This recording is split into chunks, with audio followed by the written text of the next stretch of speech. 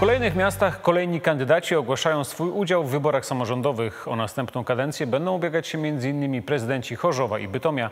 Ciekawie zapowiada się rywalizacja w Mysłowicach. Paweł Jędrusik.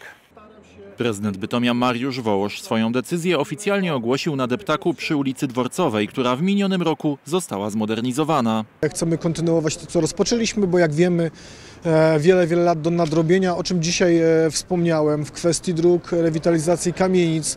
Pokazaliśmy e, zarówno w jednym i w drugim temacie, to miejsce jest na to dowodem, że potrafimy to robić, że potrafimy współpracować, rozpoczynać i kończyć projekty, pozyskiwać środki unijne. W tegorocznych wyborach Wołosz może liczyć na poparcie nowoczesnej Platformy Obywatelskiej, a także Polski 2050 Szymona Hołowni.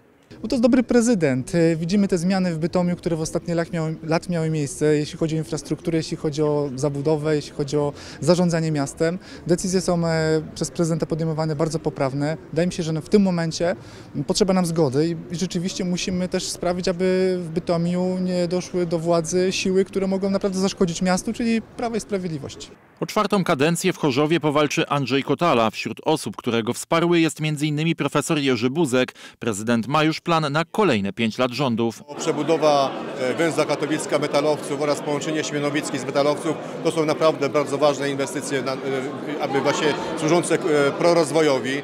Powstanie Chorzowskiej Strefy Gospodarczej na terenach południa Kościuszko to jest również bardzo ważna idea, którą chcielibyśmy zrealizować.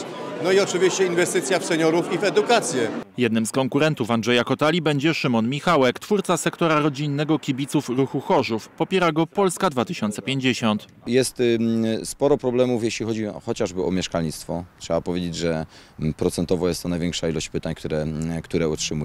Natomiast bezpieczeństwo. Ludzie też chcą, y, wiadomo, jeżeli ktoś y, zna się na piramidzie Maslowa, to wie, że kwestie takie podstawowe, y, te bezpieczeństwo jest bardzo, bardzo nisko, czyli jest jedną z najważniejszych rzeczy dla ludzi. Jak widać, nie we wszystkich miastach zafunkcjonuje szeroka koalicja rządowa, czyli Koalicja Obywatelska, Lewica i Trzecia Droga.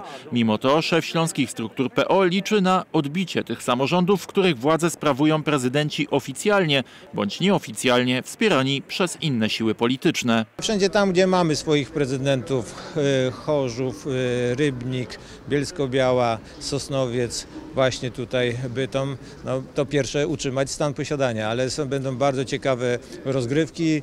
E, Pani Katarzyna Kuczyńska-Budka w Gliwicach, myślę, będzie bardzo ciekawe, e, ciekawa walka o zwycięstwo Zabrze, wygląda ciekawiej pani Rupniewska, Jaworzno, e, pan Kircher, ale kandydatów będzie naprawdę bardzo wiele. Ciekawa walka szykuje się też w Mysłowicach. Tam oprócz Doroty Koniecznej-Simeli i Dariusza Wójtowicza wystartuje też działający w branży rozrywkowej Łukasz Prajer. Mysłowice przede wszystkim potrzebują naprawy finansów e, miasta, ich uporządkowania. Wiemy, że sytuacja miasta jest bardzo ciężka, sytuacja finansowa jest e, wręcz tragiczna e, na obecną chwilę, także na pewno to jest najważniejszy element, który musimy zrobić na już. Wątek zadłużenia miasta przewija się też u innych kandydatów w Mysłowicach. bo jak my go nie oddłużymy tego miasta i to mówię od lat i nie będziemy zarządzać nim tak jak e, przedsiębiorstwem albo gospodarstwem domowym, to po prostu dojdzie do rozbioru Mysłowic. Ja to też przepowiadam od lat. Na razie nie ma jeszcze nawet sondaży przepowiadających, kto ma największe szanse na zwycięstwo w wyborach. Patrząc jednak choćby na liczbę kandydatów, w wielu miastach na pierwszej turze może się nie skończyć.